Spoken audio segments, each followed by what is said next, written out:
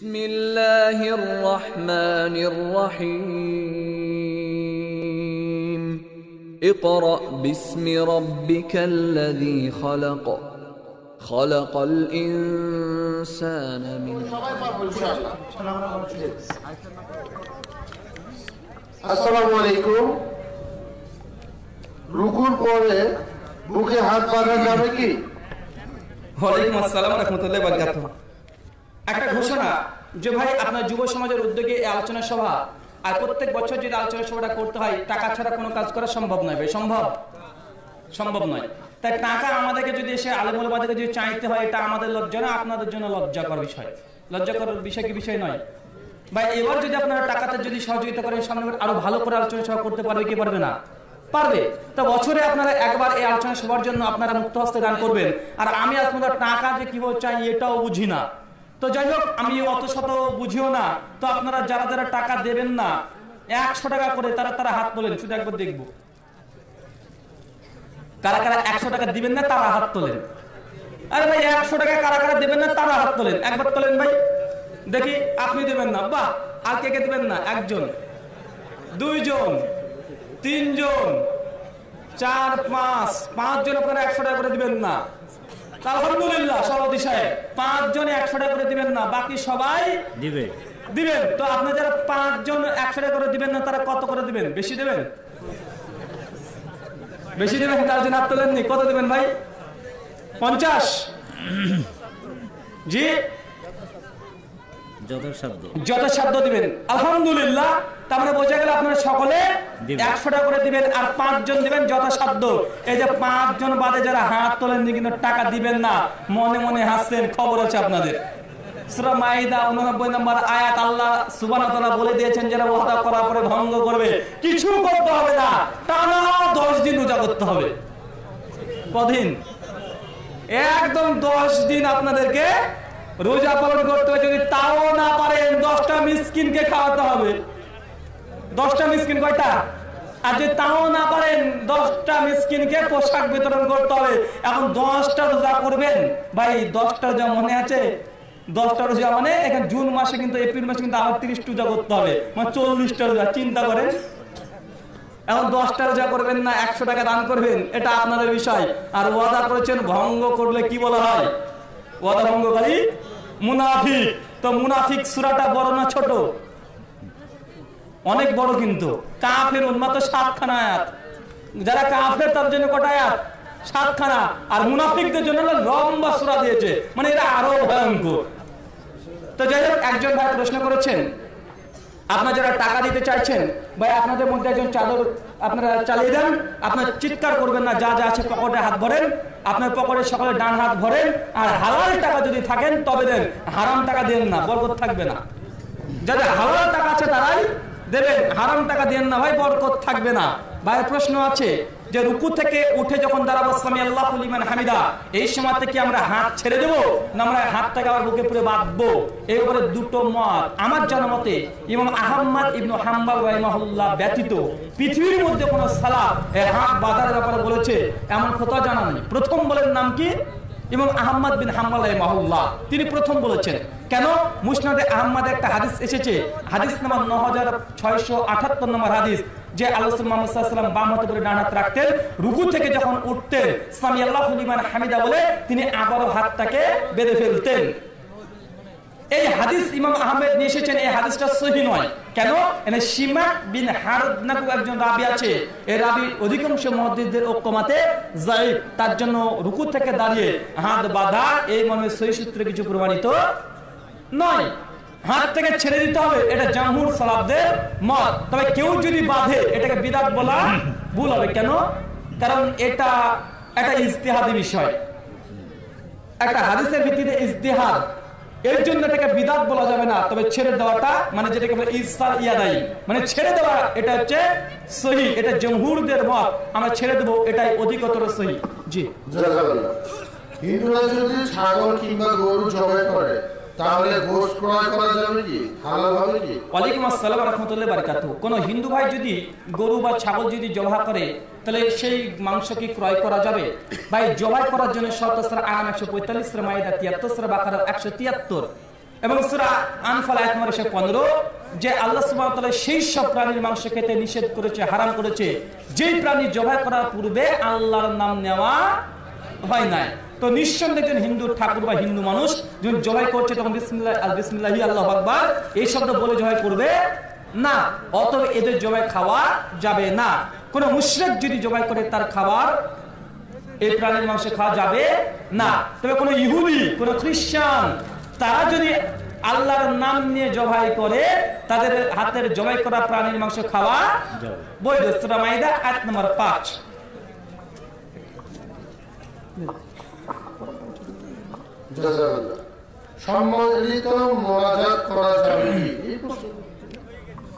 সম্মিলিত মোনাজাত করা যাবে কি? যাবে না? জি, করা যাবে। তিনটে জায়গাতে সম্মিলিত মোনাজাত করা যায়। এক ভারতবর্ষের সরকার জন্য বদ্ধ করবেন প্রতিদিন, কোনোতে না জেলা করবেন। করবেন? এখানে সম্মিলিত মোনাজাত করতে হবে। কেন? আল্লাহ মোহাম্মদ সাল্লাম তিনি ইসলাম দ্বারা পত্নী হাদিস ষোলোশো আটাত্তর। তিনি শত্রুদের জন্য বদ্ধ করার জন্য কোনোতে না জেলে যখন পড়তেন, ইমাম মুক্তাদি সকলের সম্মিলিত মোনাজাত দুই হাত তুলে তারা দোয়া করতেন, এক জায়গায় প্রমাণিত। দুই, এলাকাতে বৃষ্টি নাই, খরা ডেকে গেছে, মাটি শক্ত হয়ে গেছে, অনেক দিন ধরে বৃষ্টি নেই। এই বৃষ্টি প্রার্থনা করার জন্য ইমাম মুক্তাদি সকলেই বৃষ্টি প্রার্থনার সালাত আদায় করার পরে দুই হাত তুলে দোয়া করতে পারবেন। সেই বুখারি, হাদিস নাম্বার এক হাজার নয়, দশ, এগারো, বারো, তেরো, চোদ্দ, পনেরো পর পর হাদিস বর্ণনা আছে। বৃষ্টি অনেক হয়ে গেছে, বন্যা। এই বন্যার পানিকে আবার চলে যাওয়ার জন্য আল্লাহ কাছে আবারও দুই হাত তুলে দোয়া করতে পারবেন। এই তিনটে জায়গাতে সম্মিলিত মনোজাত প্রমাণিত। বাকি যত জায়গায় করা হয়, এক জায়গাতে সম্মিলিত মনোজাত প্রমাণিত নয়। যেমন ফরজ নামাজের শেষে, যেমন বিবাহ মসজিদের শেষে, যেমন ঈদের মাঠের শেষে, একইভাবে আছে জানাজার শেষে। একইভাবে আছে এই সভা সমিতির শেষে, একই আছে বিবাহ মসজিদের শেষে, এই ছয়টা জায়গাতে সম্মিলিত মনোজাত প্রচলিত আছে, কিন্তু কোরআন সুন্নাহ দ্বারা প্রমাণিত নাই। আমাদের আম মানুষের মধ্যে একটা প্রচলিত আছে। ভালো কাজ, হাত তুলে আল্লাহর কাছে চাইছি, ক্ষতি কি? আছে না নাই? বলেন, আরে আল্লাহর কাছে তো দুই হাত তুলে দোয়া করে চাইছি, এতে আবার ক্ষতি কি? বিধানের কি আছে? ভাই, আমাদের মধ্যে একটা ভুল ধারণা আছে কি জানেন? আমরা মনে করি, দোয়া মানেই হাত তুলতে হবে। হাত না তুললে দোয়া হবে না। মানে আমাদের মধ্যে একটা ধারণা অলরেডি হয়ে আছে। ভাই, এই ধারণা সঠিক নয়। কেন? ভাই বলুন তো, মসজিদে ঢোকার দোয়া আছে না নেই? হাত তুলে করেন। ইমাম সাহেবকে ডাকেন। মসজিদ থেকে বের হাত দোয়া আছে না নেই? হাত তুলে করেন। ইমামকে ডাকেন। বা বাথরুমে ঢোকার দোয়া আছে না নেই? হাত তুলে করেন। ইমামকে ডাকেন বা পোশাক পয়জানোর দোয়া আছে না নেই হাত তুলে করেন ইমামকে ডাকেন জুতো পয়জানোর দোয়া আছে না নেই হাত তুলে করেন গাড়িতে ওঠার দোয়া আছে না নেই হাত তুলে করেন বা স্ত্রী সাহসের দোয়া আছে না নাই, কারা কারা হাত তুলে করেন? সেই সময় কারা কারা হাত তুলে করেন? বলেন। দুয়া মানেই যদি হাত তোলা হয় তোমার স্ত্রী সঙ্গে তো আছে না নাই? আছে। তো এক কাজ করবে, রাত্রি বারোটা যখন বাজতে ফোন করে ইমাম সাহেব গে মসজিদের ইমাম সাহেব, খবর আছে, আসেন। কেন? এখন আমরা স্ত্রী সহবাস করব। তা আপনি দোয়া করবেন, আমার স্বামী স্ত্রী আমিন আমিন করব। মনে মানে মানে তো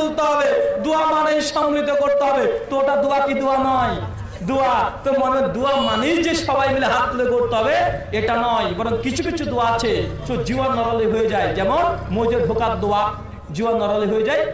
এটা একই বিষয়। চলো।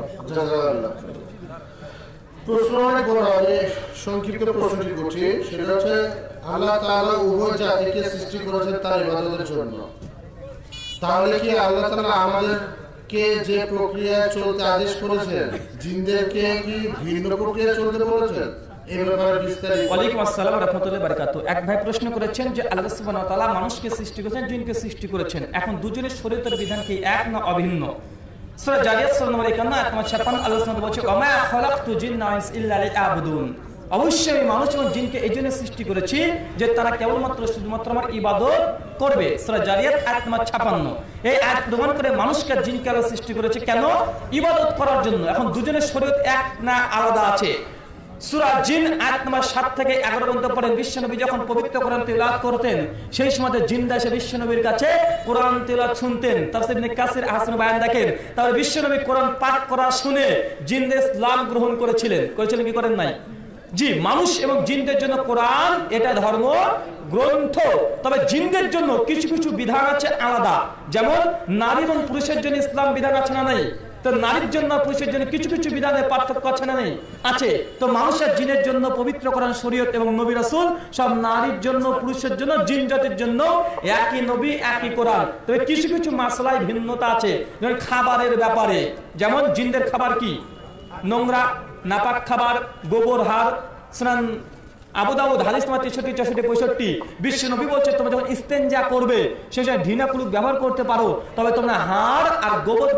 করবে না তোমাদের ভাইদের খাবার মানে জিনদের খাবার।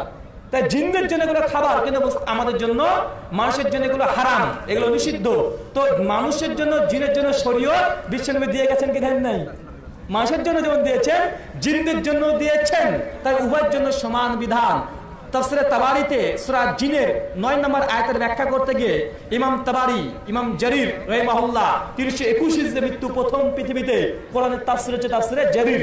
তিনি একটা ঘটনা নকল করেছেন যে আব্দুল্লাহ রাদিয়াল্লাহু তাআলা আনহু একদিন একটা জিনের দলকে দাওয়াত দিয়েছিলেন। কাকে ভাই? জিনের দল। একটা জিন এসেছিল জিনকে তখন আব্দুল মাসুদ তাদেরকে দাওয়াত দিয়েছিলেন যে তোমরা আমাদের বাড়িতে আসবে। তো ঠিক আছে কিছুদিন পর জিন্দা এই দাওয়াত খাওয়ার জন্য আব্দুল মাসুদের বাড়িতে চলে আসে।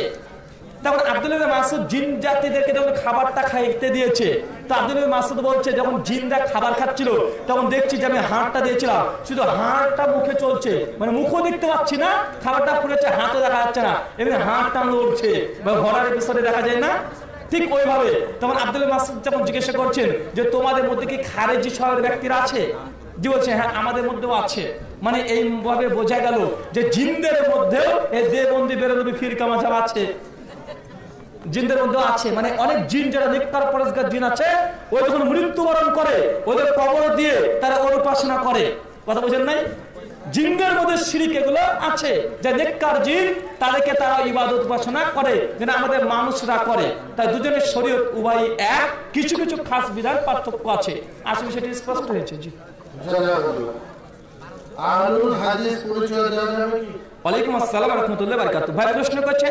হাদিস বা হাদিস পরিচয় দেওয়া যাবে কি যাবে না?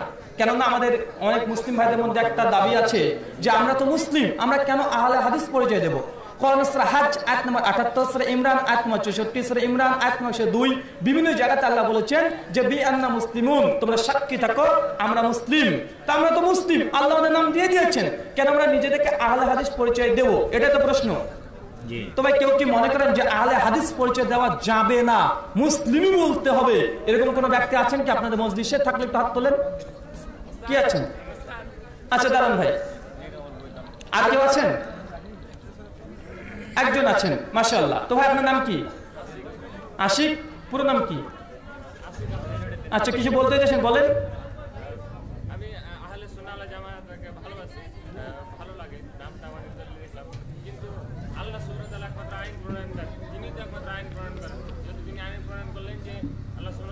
মুসলমান নির্বাচন করলেন তাহলে আমরা কেন বা রাসূল সাল্লাল্লাহু জিজ্ঞাসা করেন আমরা কেন আহলে নির্বাচন করব?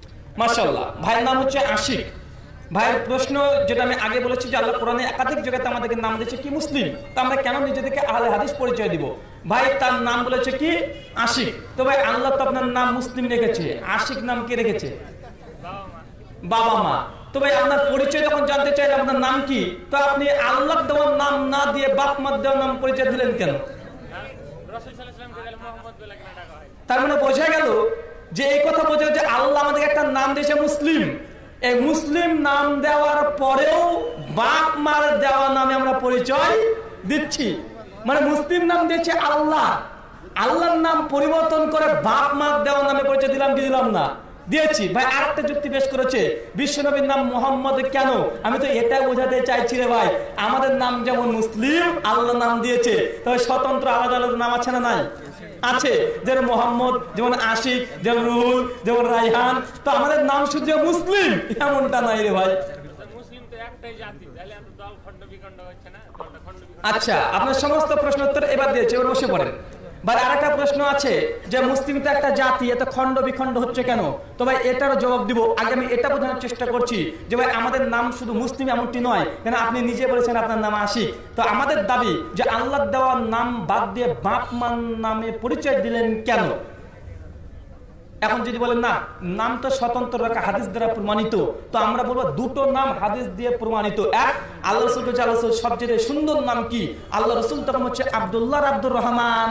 তো আপনার নাম যদি রাখা হয়, তা আবদুল্লাহ আব্দুর রহমানই রাখতে পারবেন। অন্য কোনো নাম কোরআন, হাদিস দ্বারা প্রমাণিত নয়। ভাই আল্লাহ কাছে সবচেয়ে পছন্দের নাম কি? মানুষের নাম?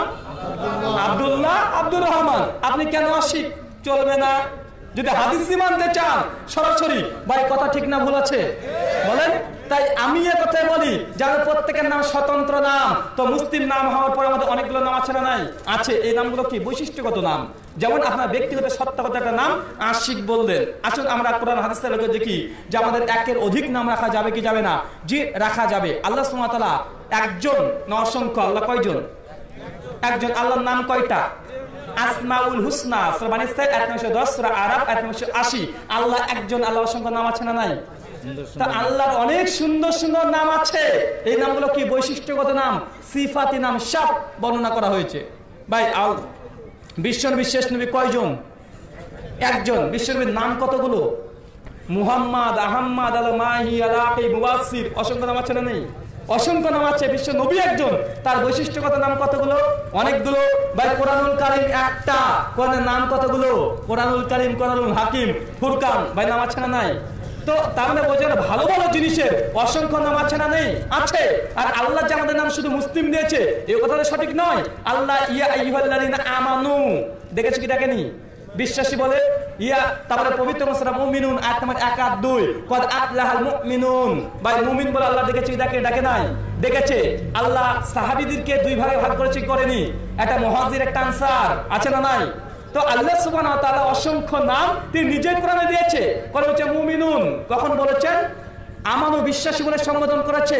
কখন মুসলিম বা মুসলিমুন বলে সম্বোধন করেছে? তো অসংখ্য নাম কোরআন হাদিস দ্বারা প্রমাণ নিত। তাই আপনি বলছেন যে মুসলিম বললে এটা ফিরকা মানে আলাদিস পৌঁছে দিয়ে ফিরকা ফিরকা মনে হয়।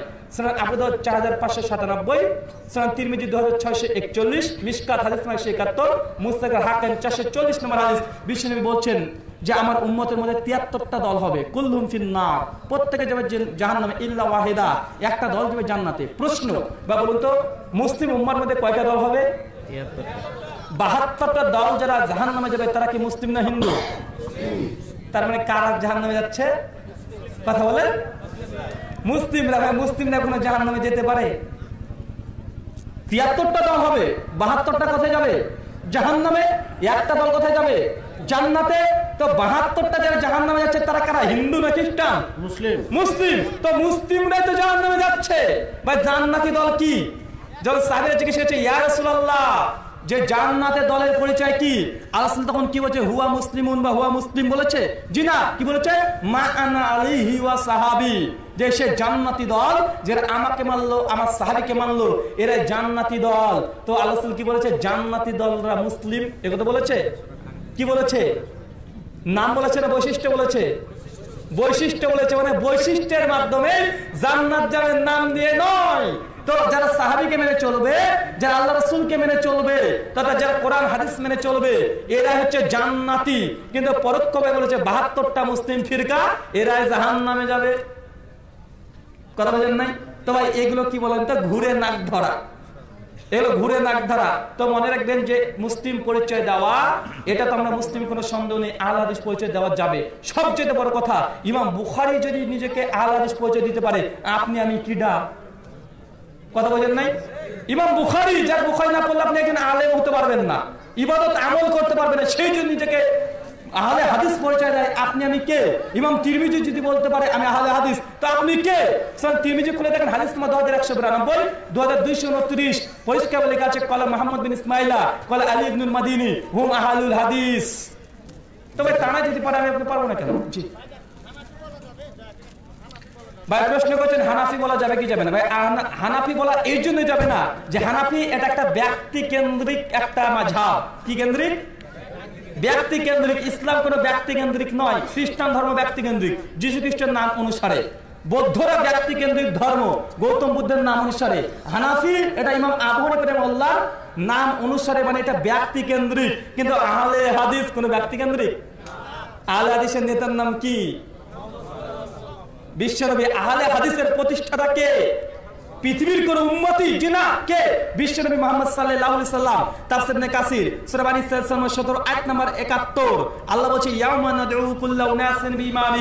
কিয়ামতের মাঠে প্রত্যেকটা মানুষকে তার ইমামের সঙ্গে তোলা হবে।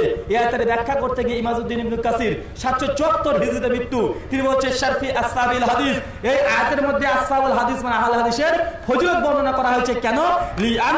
ইমামিহিম নবী সাল্লাম। কেন আহলে হাদিসের এই দুনিয়াতে কোনো ইমাম নেই? একজন ব্যতীত তার নাম মোহাম্মদ সাল্লাম। জি বলেন। শিয়ারা কি মুসলিম? ওয়ালাইকুম আসসালাম রহমতুল্লাহ বারকাত ভাই প্রশ্ন করেন শিয়ারা কি মুসলিম? আপনাদের বাংলাদেশে একজন বক্তা আছে নামটা বললাম না তবে চাঁদর পড়া বক্তা। উনি কিছুদিন আগে তার একটা আলোচনা শুনেছি তিনি বলছিলেন যে আকিদা মাকিদা বুঝি না যারা কালামে মুহাম্মদ বিশ্বাস করে তারাই নাকি আমাদের ভাই। তো ভাই, কাদিয়ানি যারা আছে, তারা কালামা বিশ্বাস করে, কি করে না? তারা কিন্তু মুহাম্মদ রাসূলুল্লাহ পাঠ করে। তো কাদিয়ানিকে ভাই বলবেন? আমাদের পশ্চিম বাংলার মমতা ব্যানার্জি, দেখবেন রোজার সীমাতে ঘুমটা দিয়ে থাকে, কালেমা ডেলি ওকে বোন বলবেন নাকি, দিদি বোন? বলেন। ভাই, শিয়ারা, তারা মুসলিম কি মুসলিম না? আপনারা নিজেরা নির্ধারণ করেন। শিয়াদের একটা বই আছে, বিহারুল আনোয়ার প্রথম খণ্ড একশো পঁয়ষট্টি পৃষ্ঠে তারা লিখেছে, আল্লাহ রসুলের পাঁচজন সাহাবি ব্যতীত সমস্ত সাহাবিরা কাফের, মুরতাদ হয়ে গেছিল। বলে জালিক। তাদের কোরআন একটা আছে, কোরআনের তাফসির আছে, যেটাকে বলা হয় তাফসির কুম্মি। সূরা নাহাল, আয়াত নাম্বার 98 আর 89 এর মানে অষ্টানব্বই, আটানব্বই আর উননব্বই নম্বর আয়াতের ব্যাখ্যা করতে গিয়ে তারা লিখছে যে আউবাক্কর ওমার, হাফসা, আয়েশা ফিন্নার। বলুন নাউজুবিল্লাহ মিন জালিক। মানে আউবাক্কর এবং আউবাক্করের মেয়ে আয়েশা ওমার এবং ওমরের মেয়ে হাফসা এরা জাহান্নামী। বলুন নাউজুবিল্লাহ মিন জালিক। বা যারা আউবাক্কর ওমর ওসমান আলীকে বলে জাহান্নামী ভাই এরা কি মুসলিমা থাকতে পারে? কথা বলেন। অত কিছু জানার দরকার নেই। এখন ইউটিউবে যান লিখেন শিয়া শুধু লিখবেন শিয়া বা লিখেন আয়েশা ফিরনার এটুকু লিখেন ইংরেজিতে। কি লিখবেন? আয়েশা ফিরনার। শিয়ারা, আশুরার দিনে তাদের একটা উপাসনা আছে, কি জানেন? আমাদের হায়দ্রাবাদে চলে যাবেন ইন্ডিয়াতে শিয়ারা, আশুরা মানে মহরম মাসের দশ তারিখে তারা একটা আয়োজন করে। কি আয়োজন জানেন? আশ্চর্য হয়ে যাবে। তারা একটা প্রথমে কুকুরকে ধরে নিয়ে আসে কুকুর। কুকুরকে ধরে নিয়ে আসার পরে এই কুকুরের নাম দেয় ওমার। কি নাম দেয়?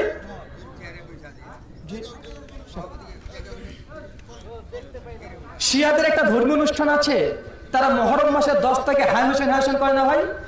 ওই দিন আমাদের হায়দ্রাবাদ না পৃথিবীর অধিকাংশ জায়গায় শিয়ার একটা অনুষ্ঠান করে। একটা কুকুর কিনে নিয়ে আসে। কুকুরটাকে আচ্ছা থেকে খাওয়ায়। খাওয়ানোর পরে এই কুকুরের নাম দেয় ওমার। বলে নওয়াজ জাল। তারপরে এই কুকুরকে তারা খুব ভালো করে খাওয়ানোর পরে গলাতে দড়ি দিবে। যে দুম দুম করে ঘোরাবে। মানে বন বন করে ঘোরাবে। দড়ি দিয়ে বেড়াবে। তারপর দুম দাম লাঠি দিয়ে মারতে থাকবে। যতক্ষণ না মারতে মারতে ভূমি না করছে, মারতেই থাকবে। কেন বলেন তো? ওমর বিন খাত্তাবকে মারছে এই নিয়াত করে। বলে নওয়াজবিল্লাহ বিন জালি বা এলাকার মুসলিম থাকতে পারে।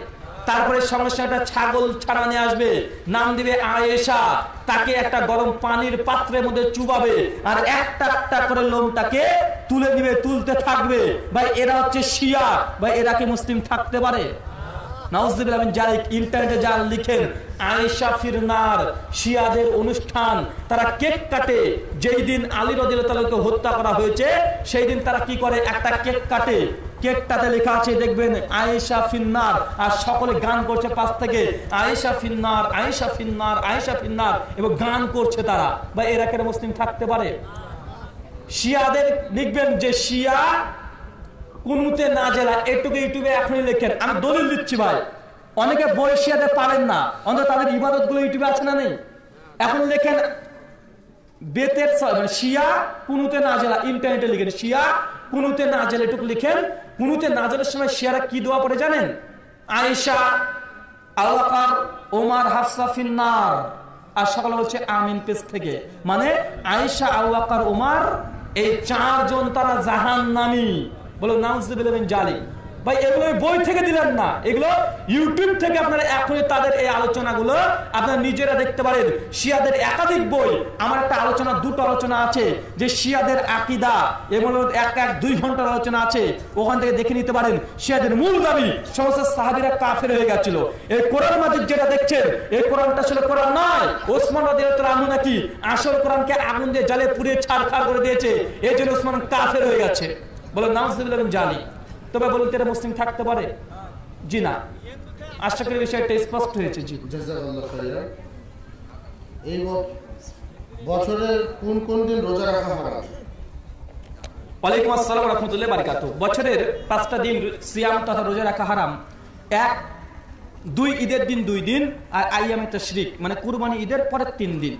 এই ইন টোটাল পাঁচ দিন আপনি সিয়াম তথা রোজা পালন করতে পারবেন না। আর কিছু কিছু দিনে খাস ভাবে নারীদের জন্য রোজা পালন করা হারাম। যেই দিন আপনি, বিশেষ করে আপনার পিরিয়ড বা মেন্সের সময় আছে, এই সময়তে আপনি ফরজ রোজা যদি থাকে তবু করতে পারবেন না। পারবেন? পারবেন না। তো মেয়েদের জন্য এই কটা দিন খাস ভাবে নিষিদ্ধ হারাম। আসলে সেটি স্পষ্ট হয়েছে। তারাবির নামাজ কেন বিশ টাকা পড়া হয় মক্কা মদিনায় তারাবির নামাজ কেন বিশ পড়া হয় মক্কা এবং মদিনায়? ভাই, যারা এখন কোরআন থেকে, হাদিস থেকে দলিল যখন দিতার ব্যর্থ হচ্ছে, তখন বলে, ওই মদিনাতে কুড়ি টাকার তারাবি হয়। তো হুজুর শুধু মদিনার আর মক্কার কুড়ি টাকার তারাবি দেখতে পান, আর কিছু চোখে আপনার থাকে না? ভাই, বলুন তো, ওই হুজুর যে হুজুর কুড়ি টাকার তারাবি পড়াচ্ছে, উনি হাত কোথায় বাঁধে? বলেন, বুকের উপরে বাঁধে কি বলে না? জোরে আমিন বলে কি বলে না? রফলিয়া দিন করে কি করে না? বেতের নামাজ এক রাকাত পরে কি পড়ে না? তার সাথে বসে আঙ্গুলটাকে ইশারা করে কি করে না? সালাম ফিরানোর পরে হাত তুলে মনে করে নাকি? করে না। তো নামাজের মধ্যে পাঁচশো মাসালা আছে। ফরজ সুন্নাত, নফল, সমস্ত কিছু পাঁচশো সুন্নাতের মধ্যে বাংলাদেশের হুজুরদের শুধু একটাই চোখে ঠেকেছে। আর বাকি চারশো নিরানব্বইটা কি হলো ভাই? মানে এটা সাধু এসে পাকা চোর। মানে যেইটুক দরকার ওইটুক নিয়েছে, বাকি সব হাওয়া। তা আমরা বলছি, দাদা, মক্কা মধ্যে কুড়ি টাকার যে তারাবি পড়া হয়, যদি পড়তে চান, এটা যদি দলিল হয়, তো আমরা বলি কুড়ি টাকা আমরা পড়ব। তো মক্কার ইমান যেভাবে পড়াচ্ছে হুবু হু পড়া আমরাও রাজি আছি। বা আছেন না নাই? বলেন, আপনার মতো হুজুর ফোর জি গতিতে তারাবি পড়াই না। আপনি তো কুড়ি টাকার তারাবি তিরিশ মিনিটের সাওয়া করে দেন। মাত্র কুড়ি মানে টাকার তারাবি করছে ক মিনিটে? তিরিশ মিনিট সময় নেয় না রে ভাই, আশ্চর্য হয়ে যায়। আটটা পনেরোতে তারাবির জামাত চালু হয়। একদম আটটা, নয়টা বাজতে পাঁচ মিনিটে সব শেষ। আছে না নাই? আবার নামাজ পড়তে এসে বলে যে আজকে একটু দেরি হয়ে গেল। আবার নামাজের ঢং কি? আল্লাহ আকবার। আল্লাহ আকবার সরি, আল্লাহ আল্লাহ আকবার। মানে শুধু আল্লাহ আকবার শোনা যায়। বাবু তো এই তারাবি ফোর জি গতির তারাবি, কুড়ি টাকার কেন একশো টাকার পরেও কাজ নাই? ওই মসজিদের ছাদে আটকে দেবে ছাদ ভেদ করে আল্লাহ দরবারে যাবে না। তাই আমরা বলি, মক্কা, মদিনাতে যেমন আট, বিশ টাকা তারাবি পড়াচ্ছে দেড় ঘণ্টা সময় লাগে। কয় ঘণ্টা? দেড় থেকে এক ঘণ্টা পঁয়তাল্লিশ মিনিট সময় লাগে। অতক্ষণ সময় ধরে পড়েন? আপনার পেছনে আমরা নামাজ পড়ব। যেইভাবে পড়ছে, ওইভাবে পড়েন হুজুর। কোনো আপত্তি নাই।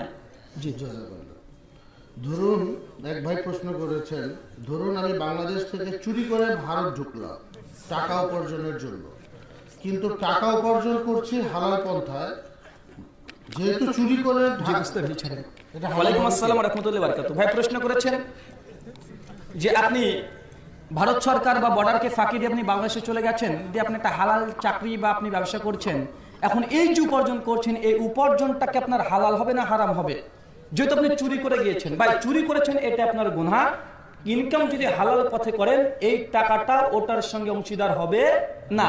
একের পাপের বোঝা আর এক পুরে জিন্নে পুরে বর্তাই নাই। যেটা হালাল করছেন ওটা হালালের হুকুম, যেটা হারাম করেছেন সেটা হারামের হুকুম। তাই চুরি করে আপনি মানে দেশ ত্যাগ করে চলে গেছেন ওই পারে, কিন্তু ইনকামটা আপনি পরিশ্রম করছেন, এটা অবশ্যই হালাল হবে। কিন্তু এই যে চুরি করেছেন, এর জন্য গুণা আলাদা হবে। এর জন্য ফতোয়া আরকান ইসলামের শেষ একটা ফতোয়া রাখেন যে হজ প্রসঙ্গে শেখ সোয়াল সাইমেনকে প্রশ্ন করা হয়েছিল যে ডুপ্লিকেট পাসপোর্ট দিয়ে ভিসা করে যদি আমি হজ করতে যাই, হজ কবুল হবে কি হবে না? এই মর্মে তিনি এই ফতোয়াটা দিয়েছিলেন। জি। কোরআন যদি হাত থেকে পড়ে যায়, তাহলে কি করণীয়? ওয়ালাইকুম আসসালাম কোরআন যদি হাত থেকে পড়ে যায়, তাহলে কি করণীয়? আমাদের সমাজে আছে যে, কোরআনের ওজনে চাল, ডাল এগুলো দিতে হবে। জি ভাই, এই মনে কোনো হাদিস থেকে কিছু প্রমাণিত নয়। তবে সাহাবি এবং তাবি থেকে সরি তাবি থেকে কিছু প্রমাণ পাওয়া যায়। কোরআনকে তারা সম্মান করার জন্য তারা কোরআনকে চুম্বন করতেন। কারা? তাবিরা, তারা এইভাবে চুম্বন করতেন। চুম্বন করতেন কোরআনকে। এটা তাজমের জন্য সম্মানের জন্য। তাই অনেক ওলেমা তারা বলেছে কোরআনকে চুম্বন দেওয়া যায় যদি কোরআনে যদি কোনো আপনার দ্বারা কোনো বেহরমতি হয়ে যায়। মানে কোনো অসম্মানজনক যদি কাজ হয়ে যায়, একটা চুম্বন করতে পারেন। তবে এখানে বরকত পাবেন চুম্বন দিলে এমন কিছু না এটা শুধুমাত্র কি? এটা সম্মানের জন্য। তাছাড়া অন্য কিছু করা যাবে এমন কিছু বর্ণনা নেই। তবে এটা কোন আল্লাহ আমল দ্বারা প্রমাণিত না চুম্বন করাটা। কোন সাহাবি থেকেও প্রমাণ নেই। বরং তাবিদের আমল থেকে প্রমাণিত। তাই কোরআনকে চুম্বন দেওয়া বিদাত এটা সঠিক নয় কেননা তাবিদের আমল আছে। জি। কাদিয়ানিরা কি মুসলিম। ওয়ালাইকুম আসসালাম রহমতুল্লাহ বারকাত উনিশশো চৌষট্টি সালে গোটা মুসলিম উম্মার ইজমা হয়েছে যে কাদিয়ানিরা কাফের। কি বললাম? কাদিয়ানিরা কাফের। কেন? তাদের আকিদায় কালেমাই ঠিক নাই। তারা মনে করে বিশ্ব নবীর পরে আরেকজন নবী এসেছিলেন, তার নাম গোলাম মির্জা আহমেদ কাদিয়ানি। ইনি নাকি কি? নাকি নবী। কত বড় ভণ্ড ছিল আপনাকে মানে বলে শেষ করা যাবে না। একজন বিখ্যাত একজন এমন একজন ছিলেন হয়ে তিনি তিনটে ধর্মের পণ্ডিত ব্যক্তি ছিলেন। কয়টা ধর্ম? তিনটা হিন্দু ধর্ম, খ্রিস্টান ধর্ম আর ইসলাম ধর্ম, তিনটে ধর্মের বিতর্ক তিনি সবসময় করতেন। একই স্টেজে বসে যখন একটা হিন্দু যদি আসবে এমন ভাবে হিন্দু ধর্মগ্রন্থ সম্পর্কে বলে দিবে যে হিন্দুরা তার সামনে টিকতে পারতো না। খ্রিস্টানদের সঙ্গে তিনি বিতর্ক করতেন আর মুসলিমদের সঙ্গে তিনি বিতর্ক করতেন। এই গোলাম মির্জা আহমেদ কাদেনির সঙ্গে একবার সানাল্লাহ অমৃতসরের মোল্লা একটা মোনাজারা বিতর্ক হয়েছিল। যখন শেষ বিতর্ক হয়, তো সানাল্লাহ অমৃতসরী তিনি বলেছিলেন, তোমার সঙ্গে মুনাজারা করব না, করব মুবাহালা। কি করব? মুবাহালা। মুবাহালা কি জানেন? মুবাহালা মানে এটা একটা চুক্তি। সানাল্লাহ অমৃতসরী রহমাল্লাহ তিনি বলেছেন যে এই মির্জা কাদিয়ানি, তুই যদি নবী হোস, তো আমি আল্লাহর কাছে দোয়া করছি যে তোর জীবন দশাতে আমার মৃত্যু হবে। আর তুইও প্রতিজ্ঞা কর, তুই যদি নবী হোস মানে তুই যদি নবী না হোস, তাহলে আমার এই হবে। মানে নিজের উপরে বদ দোয়া করা। বুঝতে পারছেন কি? সানাল অমৃত সাহেবের মতো বলছে, তুই তো নবী আমি জানি, আর তুই যদি নবী হোস, সত্যি যদি নবী হোস, তাহলে আমি তোর আগে মৃত্যুবরণ করব। তো তারা দুজন যখন এই মুবাহালা করে, কিছুদিন পর এই গোলাম মির্জা আহমেদ কাদিয়ানি, তিনি পায়খানা ঘরে ঢুকে মৃত্যুবরণ করেছিলেন। আর সানাল্লাহ অমৃত সাহেব এই মুবাহালার পরে চল্লিশ বছর এই পৃথিবীতে জীবিত ছিল। এটা হচ্ছে ইসলাম যে একটা হক এটার একটা দলিল। এটা একটা দলিল। তো ভাই গোলাম আহমেদ কোনোভাবে সে মুসলিম নয়। এই ফিরকাকে যারা মুসলিম মনে করে তারাও মুসলিম বলে গণ্য হবে না। তারাও কাফের হয়ে যাবে যদি তৌবা না করে। জি। রুকু পেলে রাখাত হবে। রুকুহের রাকাত হবে কি হবে না? এই সালাবদের থেকে মত পার্থক্য আছে। তবে আমার কাছে সবচেয়ে গ্রহণযোগ্য মত হচ্ছে আবু সাইদ আর আবু আবু সাইদ খুদুরি আর আবু হুরাইরা রাদিয়াল্লাহু তাআলার ফতোয়া এবং আমল।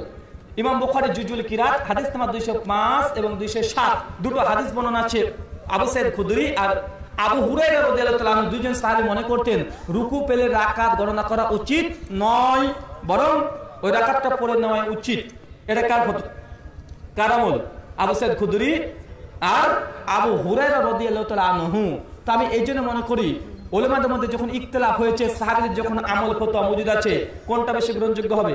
সাহাবীদের। আলহামদুলিল্লাহ দুটো ফতোয়া যখন মজুদ আছে আর ইমাম বুখারী তিনিও রুকু পেলে রাকাত গণনা করতেন না। এই মতের পক্ষে তিনিও ছিলেন আলহামদুলিল্লাহ। তবে এটাকে বেশি প্রাধান্য দিই। তবে কেউ যদি গণনা করে ফেলে এটা নামাজ বাতিল হবে না নামাজ ইনশাআল্লাহ হয়ে যাবে। এটা ইজতিহাদি মাসালা নামাজ তার হয়ে যাবে জি। এই সফরে আপনার এই সফরে আপনার সাথে বাস করতে চাইলে কি করতে হবে? ওয়ালাইকুম আসসালাম রহমতুল্লাহ বারকাত আমার সঙ্গে বাস কে করবে? হিন্দু মুসলিম খ্রিস্টান কে? আমি তো আপনারা জানেন আমি সাধারণত তিনটা দলের সঙ্গে বাস বিতর্ক করে থাকি। কিছুদিন আগে একটা খ্রিস্টানের সঙ্গে বাস আপনারা সম্ভবত ফেসবুকে দেখেছেন, যে ইজ দ্য জিজাস গড, যিশু খ্রিস্টকে ঈশ্বর অ্যান্ড কোরআন এন্ড বাইবেল। যে কোরআন এবং বাইবেলের আলোকে তো খ্রিস্টানদের সঙ্গে বিতর্ক আছে, হিন্দুদের সঙ্গেও আছে। আবার মুসলিম যারা কঠিন, যারা গোড়ামি মাঝাবি আছে, তাদের সঙ্গেও আছে এখন বিতর্ক কারা করবে? হিন্দু না মুসলিম না কারা, বলতে হবে তো নাকি ভাই?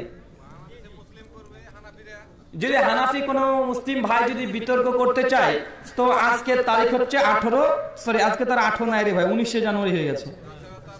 উনিশে জানুয়ারি বারোটা কুড়ি মিনিট। রাত্রি বারোটা কুড়ি মিনিট, উনিশে জানুয়ারি। তো আমি এখান থেকে তাদের যে কোনো বাহাস যদি করতে চাই, আমি দীর্ঘ এক মাস বাংলাদেশে এখন থাকব। আপনারা শুধুমাত্র এই রায়হান ভাইকে ফোন করে দিবেন। রায়হান ভাইয়ের নাম্বারটা আছে, তিনি বলে দিবেন। আপনারা যোগাযোগ করবেন। আমরা শর্ত সাপেক্ষে আপনার সঙ্গে বিতর্ক করতে রাজি আছি। কোনো সমস্যা নেই। আলোচ্য বিষয় একটা বিষয় নিয়ে আমরা আলোচনা করতে চাইব কোনটা? তাকলিদের সাক্ষী। উম্মতের জন্য কি ফরজ? এটা হচ্ছে বিষয়, কি বললাম? তাকলিদের সাক্ষী। এটা কি উম্মতের জন্য ফরজ? এটা হচ্ছে বিষয়। এই বিষয়ের উপর আমাদের বাহাস হবে। কেন? ভাই, তাকলিদ বা মাঝাব মানা যদি ফরজ হয়ে যায়, তো ভাই, আমরা হানাফি হতে আপত্তি কোথায়? কথা বলছেন নাই? রফুল নিয়ে আমিন নিয়ে আছে? নাই। আগে যদি ফরজ হয়ে যায়, তো আমরা হানাফি হয়ে যাব। সমস্যা কি? তাকে এটা নিয়ে আমাদের বিতর্ক হবে যে তাকলিদের সাক্ষী কি উম্মতের জন্য ওয়াজিব? কেউ যদি করতে চান, আর এখনই যদি কেউ বিতর্ক করতে চান, আমাদের আলোচনা শেষ করে এখনই এখানে মনোজারা করতে আমি রাজি আছি। যদি কেউ থাকেন, চলে আসতে পারেন। আপনারা আছেন? আমার সমস্যা নেই। আমি তো সব জায়গায় প্রস্তুত। আমি ঘুম থেকে উঠে যদি আমাকে বলে যে বিতর্ক করব, কোন হিন্দু যদি এসে বলে, আমি ঘুম থেকে চোখ ডোর আমি রাজি হয়ে যাবে। কোনো সমস্যা নেই। কোন মুসলিমা যদি উঠে বলে যখন বিতর্ক করব, আমি ঘুম থেকে উঠেই, আমি তার সঙ্গে বিতর্ক করেছি, অসংখ্য আছে, দেখবেন ইন্টারনেটে আছে, যে ঘুম থেকে উঠে ফোন ধরে ও শুরু করেছে, ওর সঙ্গে আমি বিতর্ক শুরু করে দিয়েছি।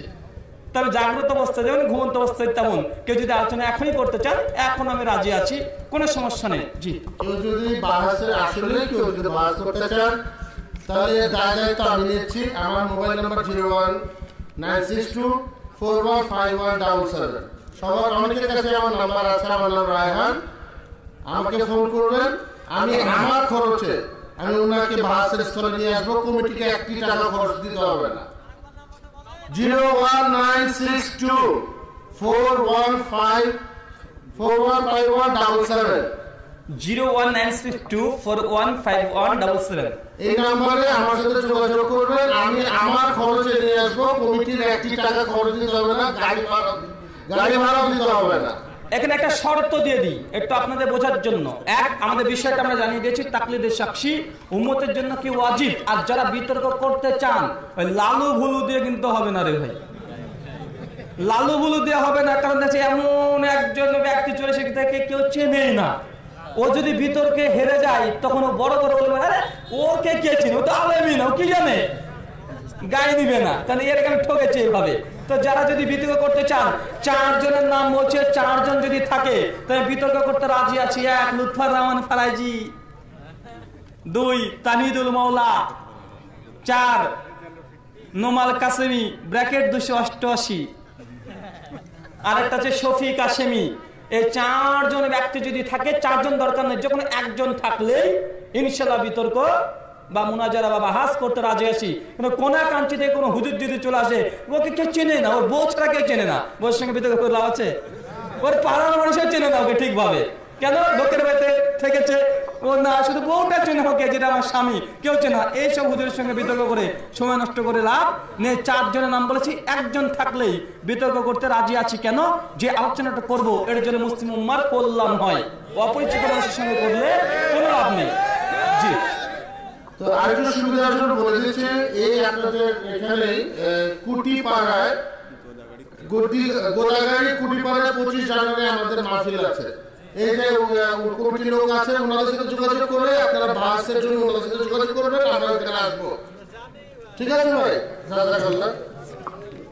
আচ্ছা ভাই, আপনাকে শেষ করে দেবো, আপনারা উঠতেছেন যে? আপনারা বসে পড়েন। আমরা বেশিক্ষণ করব না। প্রশ্ন অনেক আছে আপনারা যতক্ষণ বলবেন ততক্ষণই চালাবো সারা রাত হলে সারা রাত অসুবিধা নাই। সংগঠন করা যাবে কি? কি যাবে? সংগঠন। সংগঠন করা যাবে কি যাবে না? আচ্ছা একসাথে দুটি প্রশ্ন। সংগঠন আমিরের হাতে বায়াত নেওয়া যাবে সংগঠন করা যাবে কি যাবে না? সমস্ত সৌদি ওলেমারা একমত সংগঠন শর্ত সাপেক্ষে করা বৈধ। কি বললাম? শর্ত সাপেক্ষে করা বৈধ। সংগঠন কখনো করা এটা মুস্তাহাব, কখনো করা ওয়াজিব, কখনো করা বিদআত। কি বললাম? সংগঠন কখনো করা ভালো, কখনো ওয়াজিব হয়ে যায়, কখনো বিদাত হয়ে যায়। কোন সংগঠনের ব্যক্তিরা যদি দাবি করে যে আমাদের সংগঠনটাই জান্নাতি দল বা ফেরকায় নার্জি এই সংগঠনের ফর্ম ফিল করে ভর্তি হতে হবে। নচেত যারা আমাদের এই সংগঠনে ভর্তি হয় নাই, তারা জাহান্নামী। এরকম সংগঠনে যদি কেউ দাবিদার হয়, এই সংগঠন করা হারাম। এটা বিদাত। কিন্তু সংগঠন যদি দাওয়াতের স্বার্থে হয়, এই সংগঠন করা অবশ্যই বৈধ। কথা বুঝতে পারিনি? কোন সংগঠন ইসলামের মানদণ্ড নয় যে সংগঠনের মধ্যে গেলে সে হক হয়ে গেল, যে না থাকে সে বাতিল এমনটি নয়। ধরুন আপনাকে বলি, যে একটা সংগঠন বলছে, আমরা হকের পথে প্রতিষ্ঠিত, তবে আমরা তো ইন্ডিয়ান, আমরা কেউ সংগঠন পাবো? বলেন, সৌদি আরবে কেউ সংগঠনে ভর্তি হতে পারবে? কুয়েত, কাতার, বাহরাইন, আমেরিকা, ওরা কি ওই সংগঠনে ভর্তি হতে পারবে? আহলে হাদিস আন্দোলন আর আহলে হাদিস। এখন যদি বলে যে আহলে হাদিস আন্দোলন এটাই হক, বাকি সব বাতিল, তবে আমাদের আমাদের পশ্চিমবাংলাতে আন্দোলন আছে? নাই, জমিয়ত আছে? যে নাই, তো আমরা জাহান নামে যাব নাকি? তো ভাই, এগুলো সংগঠন একটা দেশ ভিত্তিক একটা রাষ্ট্রভিত্তিক, দাওয়াতের কার্যের জন্য এটা করা, এটা যায়। তবে মনে রাখবেন সংগঠন তখনই হারাম হয়ে যায় যখন বলে আমাদের সংগঠনটা জান্নাতি রাস্তা এখানে যারা থাকবে না তারা জাহান নামে এই সংগঠন তখন হারাম হয়ে যায়। আসলে সেটি স্পষ্ট হয়েছে।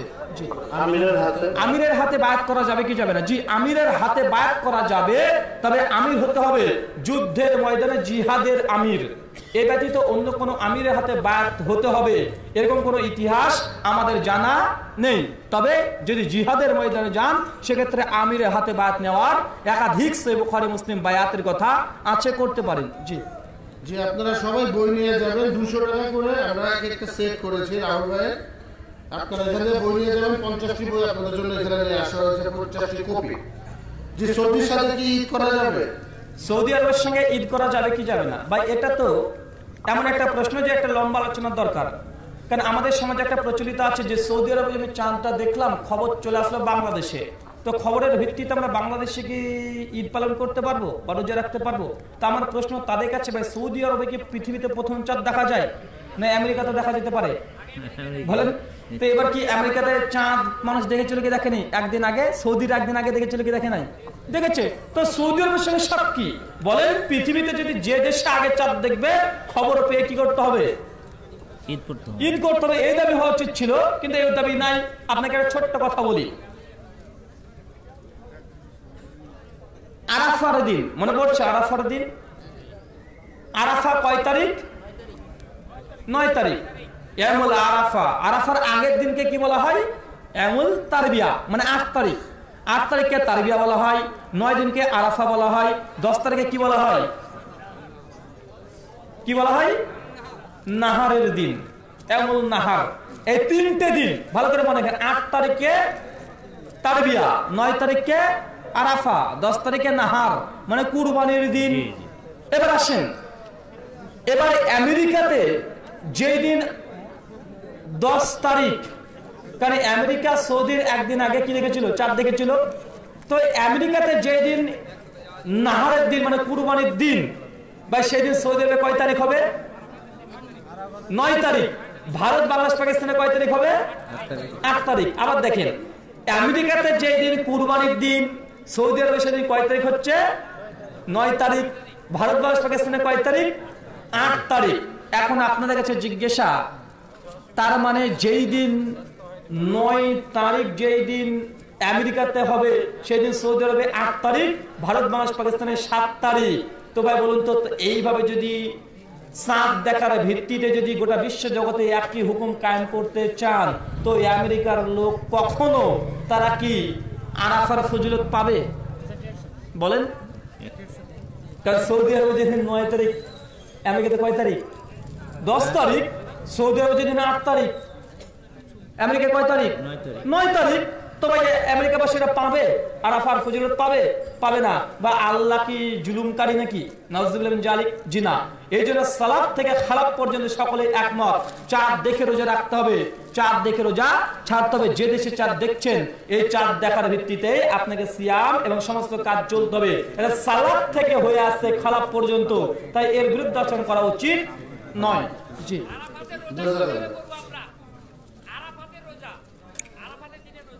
জি। আপনার যেদিন উত্তর দিয়ে দিয়েছি তো ভাই। আপনার যেদিন চাঁদ দেখে আপনি রাখবেন, সেদিন থেকে আপনি গণনা করবেন। তারিখটা হচ্ছে নয় আমরা মনে করি, ভাই, আরাফা মানে বোঝেন, আরাফা কি? আরাফা একটা স্থানের নাম। কথা বোঝেন নাই ভাই? আরাফা একটা স্থানের নাম। আরাফা কিসের নাম? একটা স্থানের নাম। ধরুন আট তারিখে কেউ যদি আরাফার ময়দানে চলে যায়, ভাই, এই দিনে ফজিলত পাবে? বলেন, কথা বলেন। কেউ আট তারিখে আরাফার ময়দানে চলে গেল, আল্লাহ দোয়া করছে, আল্লাহ দাও দাও দাও দাও দাও এই দোয়া করছে। ভাই, এই দোয়া কাজ হবে? সে ফজিলত পাবে? আরাফা হচ্ছে স্থানের সঙ্গে সম্পৃক্ত না তারিখের সঙ্গে সম্পৃক্ত এটা বড় কথা নয় বরং কথা হচ্ছে এটা যে আরাফা এটা বিশেষ একটা তারিখের সঙ্গে সম্পৃক্ত এটাই সঠিক মত। তারিখের সঙ্গে সম্পৃক্ত নয় তারিখ এটাই। কেন দশ তারিখে কেউ যদি আরাফার ময়দানে থাকে তবু এই ফজিলত নেই। তার জন্য তারিখের সঙ্গে সম্পৃক্ত এটাই গ্রহণযোগ্য মত। জি। ভাইজান একটা প্রশ্ন করবে সালাম আলাইকুম। কোন ব্যক্তি যদি রমজান মাসে সৌদি আরবে রোজা শুরু করে এবং সফর শেষ করে বাংলাদেশে এসে যদি ঈদ করতে চায়, তাহলে তাকে কি তিরিশটি রোজা করতে হবে নাকি একত্রিশটি রোজা করতে হবে? কারণ সে রোজা শুরু করেছিল সৌদি আরবে একদিন আগে। তাহলে বাংলাদেশে এসে যখন সে ঈদ করবে, সেই ক্ষেত্রে তার হুকুমটা কীভাবে হবে? ওয়ালাইকুম আসসালাম রহমতুল্লাহ বারকাত ভাই, প্রশ্ন করেছেন যে কেউ সৌদি আরবে একদিন আগে থেকে সিয়াম পালন করছিল এবার তিনি বাংলাদেশ বা উপমহাদেশে ঢুকে পড়েছে। এখন তিরিশটা না একত্রিশটা রোজা। বা অধিকাংশ রোজাই তো হয় উনত্রিশে রামাজানি হয়ে যায়। এখন যে দেশে আপনি চলে আসছেন সে দেশে আপনার জন্য তখন সেই সময় যে পনেরোটা রোজাতে চলে এসেছেন। সৌদি আরবে যদি পনেরোটা রোজা মানে শেহরি ভাত খেয়েছেন পনেরোটা রোজা শেহরি ভাত আপনি খেয়েছেন। এখন ভাত খাওয়ার পরে আপনি চলে আসছেন কোথায়? বাংলাদেশ। বাংলাদেশ বা ভারত বা পাকিস্তান। কিন্তু সেই দিন চলছে আপনার মূলত কি? চোদ্দই রমাজান মানে চোদ্দ মানে চোদ্দ নম্বর রোজা। তো এখন আপনার কোনটা গ্রহণযোগ্য হবে? অধিকাংশ জমহুরদের মত যে সৌদি আরবই যদি আপনি যদি এই শেহরি খেয়ে যদি চলে আসেন তো এটা ভারত বাংলাদেশ পাকিস্তান যখন চলে আসছেন, তখন এই দেশের ভিত্তিতে আপনার রোজাটা গণনা হয়ে যাবে। একটা যদি দেখা যাচ্ছে তিরিশটা রোজা সৌদি আরবে পূর্ণ হলো, তো আপনার হচ্ছে একত্রিশটা। তো একত্রিশটা আপনার একের নেকি আপনি পাবেন অতিরিক্ত। এবার যদি উনত্রিশটা রোজা যদি হয় সৌদি আরবে, তো আপনার একটা রোজা বেশি হলো। ভারতে আসার জন্য বা বাংলাদেশে আসার জন্য আপনার তিরিশে রামাজান বা তিরিশটা রোজা কমপ্লিট হলো। এটা জমহুরদের মত। জি। মুসলিম উম্মা কীভাবে ঐক্যবদ্ধ হবে? ওয়ালাইকুম আসসালাম ওয়া রাহমাতুল্লাহি ওয়া বারাকাতুহু। আল্লাহ তো বলে দিয়েছেন ওয়া বিহাবলিল্লাহি জামিআও ওয়া লা তাফাররাকু ঐক্যর জন্য আল্লাহ সুবহানাহু ওয়া তাআলা বা কোরআনে আপনাদের করেছে করেনি। ওয়া তাসিমু বিহাবলিল্লাহ তোমরা আল্লাহর রজ্জুকে আঁকড়িয়ে ধরো। মানে আল্লাহর রজ্জু কোরআন আর হাদিসকে আঁকড়িয়ে ধরে তারা বিচ্ছিন্ন হওয়া